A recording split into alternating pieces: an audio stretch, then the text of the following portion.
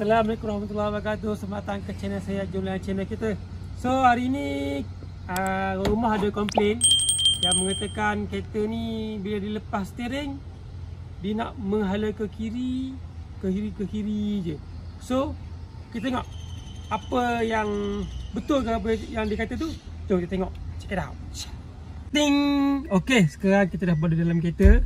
Kereta my view rumah saya.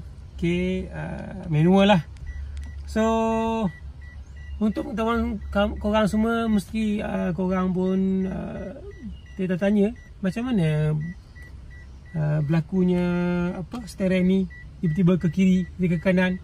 Masalah apa sebenarnya tu? Okey, uh, jom kita tengok kita test dulu dan kita akan beritahu apa sebenarnya masalah berkenaan dengan dengan sistem steering ni. Okey. So, jom kita tengok. Jom kita pergi. Okay, jom kita start. Start kereta dulu. Okay Okay Okay, so jangan lupa Sebelum kita mulakan perjalanan kita Baca doa dulu. Subhanallazi sawalana hazza wa ma kunna lahu mu'rinina wa inna ila rabbina lamuqalibun Amin.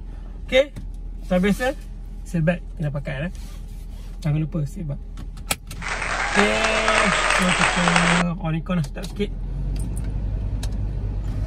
Okay Okay, jom kita try. Sebenarnya kalau kita nak try kereta kita ni uh, Dia punya elemen lagi tak lari So kita kena cari jarak yang sesuai Yang panjang sikit. So kita akan test daripada sini. Jitra Kita akan test Jitra Pergi ke kepala batah InsyaAllah. Okay, jarak tu yang jarak sesuai lah Untuk kita tengok. Uh, Apa sebenarnya yang berlaku pada Steering kereta ni Ataupun pada kereta ni? Okay? Okay, jom kita tengok. Bismillahirrahmanirrahim Okey, stop dulu. Okey, okay, sekarang kita akan susul jalan ni. Kita akan pergi ke highway. Kita nak tengok uh, betul tak yang rumah saya cakap tadi tu. Yang steering ni tiba-tiba dia ke kiri ya. Kiri. So kita tengok. Okey, sebenarnya yang saya faham lah uh, kalau ada masalah berkenaan dengan sistem steering ni bila kita bawa dia berkaitan dengan alignment lah okay, alignment elemen tayar kita elemen uh, roda kita dah depan okey? Uh, saya takut elemen dia lari sebab kereta dia lama tak tak buat elemen. Uh, satu lagi yang berkaitan dengan pemanduan kita. Bila kita bawa kereta kita akan rasa macam steering kita ni bergegar gegar gegar macam ni.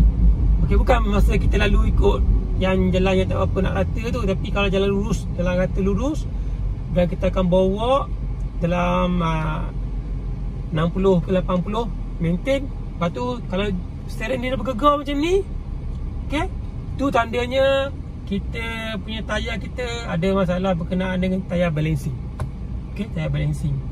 So biasa kalau macam tu uh, kita akan hantar kedai biasanya dia akan buat sekali lah alignment sekali dengan balancing.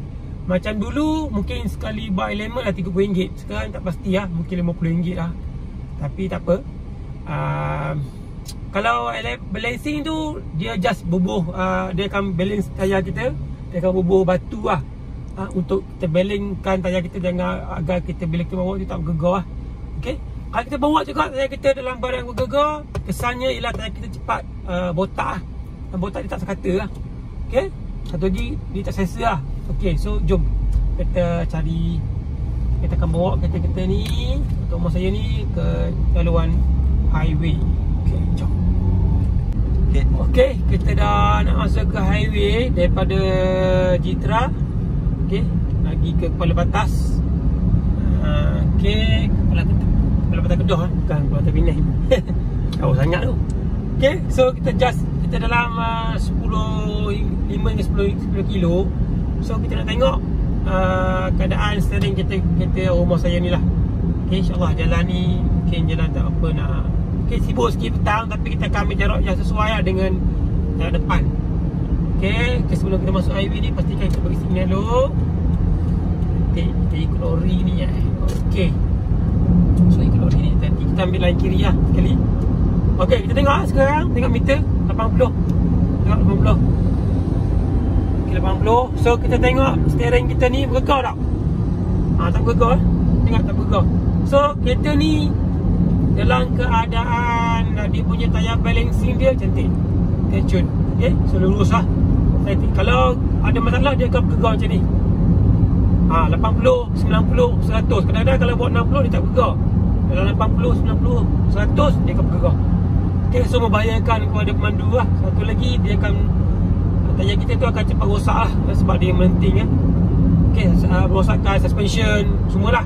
Satu lagi kita nak check tadi Abang kata tayar ni uh, Dia ni steering dia tiba-tiba ke kiri. So, Kita tengok. Kita buat lurus 80 Bawa. Kita tarik yang sesuai ke depan. Lebih kurang 3, 3 kilo 3 uh, biji kereta So kita lepas tengok. Ha, Kita lepas ha, Tengok. Tengok kereta saya ni? Nak ke kiri?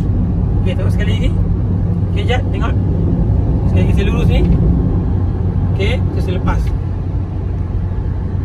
Ha, tengok. Dia nak ke kiri dengan sendiri.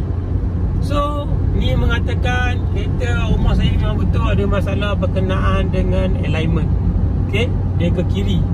Okay Ataupun dia ke kanan lah. Tapi yang saya jadi memang betul-betul ke kiri lah. Sekali lagi kita test. Okay Lurus. Dan kita lepas Dan kita Nampak Nampak Ha, so ni mengatakan betul rumah ni ada kereta rumah memang ada masalah kena dengan alignment. So kita kena bawa kereta ni pergi kedai untuk buat alignment. InsyaAllah uh, akan membantu lah uh, bagi kita punya alignment lurus balik. So pada kalau pernah berlaku macam ni kat kereta korang jangan takut untuk test cuma cara yang sesuai. Uh, sila tinggal komen kat bawah. So jangan lupa uh, Boleh temu lagi dalam uh, video-video akan datang. Berkenaan dengan uh, Perkongsian daripada saya. So uh, saya jumpa lagi. Assalamualaikum warahmatullahi wabarakatuh. Bye-bye